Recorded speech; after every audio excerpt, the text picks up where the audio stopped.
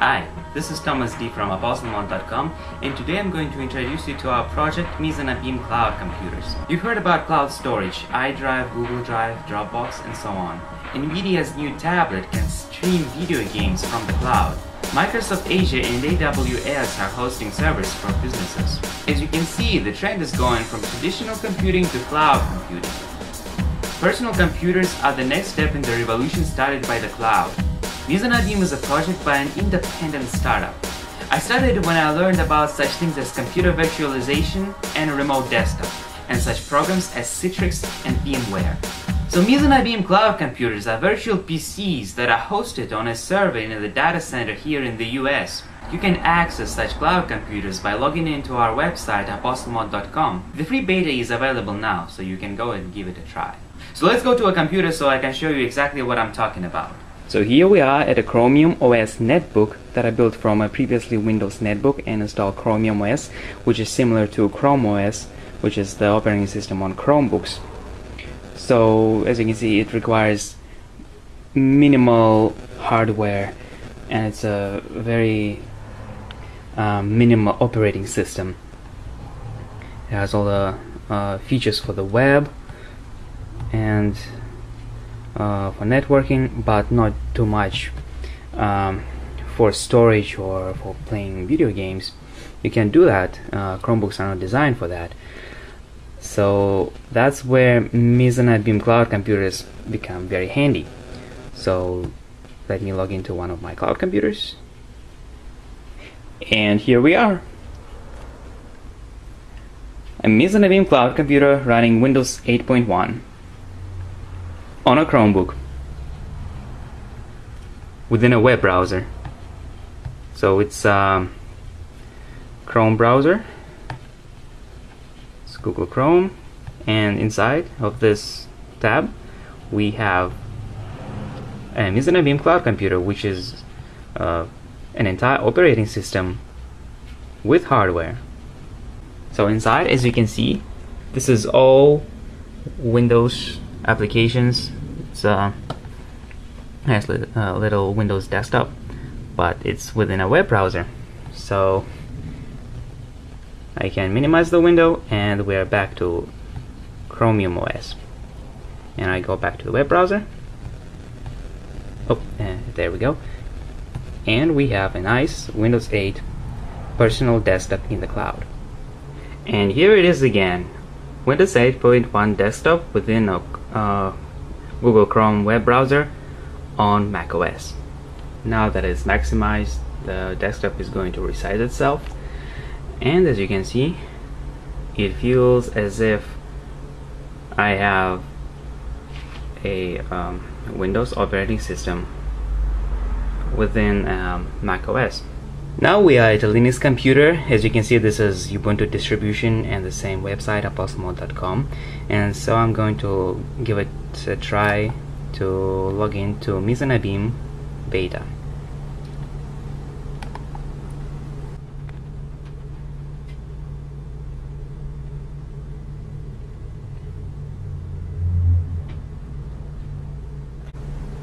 And here we are again in the Windows desktop on Ubuntu Linux operating system.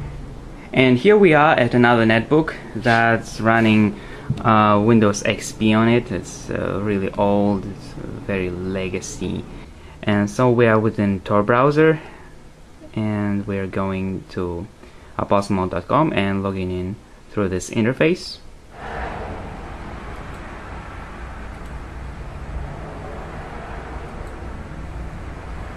So this is my virtual simulation of Android.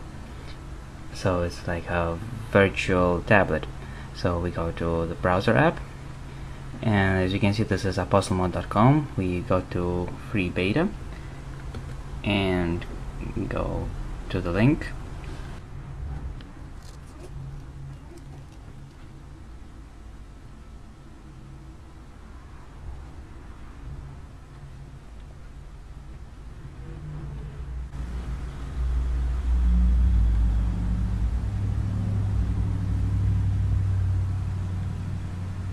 we go to Cloud Computer 1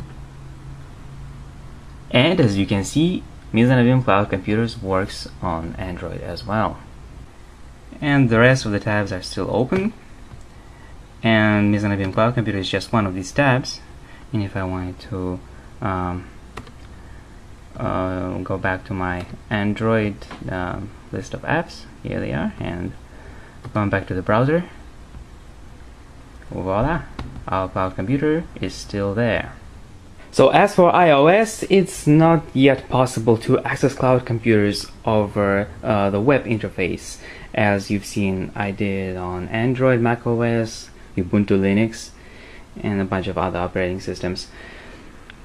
So in case of iOS, in case of um, iPad, you have to actually, oops, uh, you have to use something like TeamViewer to um, to access your cloud computer.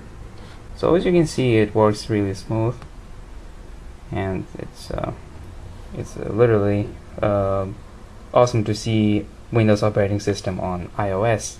And if you put it in in a case with a keyboard like that, it feels as if your iPad is um, a legitimate uh, Windows uh, notebook. And here we are at the Raspberry Pi. As you can see, I uh, have a default installation of Raspbian. Um, here we go. And uh, I just remote desktop into one of my cloud computers. And as you can see, we have a fully functional Windows 8.1 desktop on an extremely minimal hardware zero client Raspberry Pi as you can see it's just this small device the size of a uh, of a hard drive from a laptop. See it's, it's even actually small. It's the size of a credit card. It has very minimal um, hardware. And as you can see I hooked it up to a monitor keyboard a mouse. So I'm still experimenting with Raspberry Pi. I couldn't um, make cloud computers available over the internet and with a nice user interface within a web browser. I couldn't do that yet but as you can see it works with a remote desktop um, program that you can install from, from the terminal.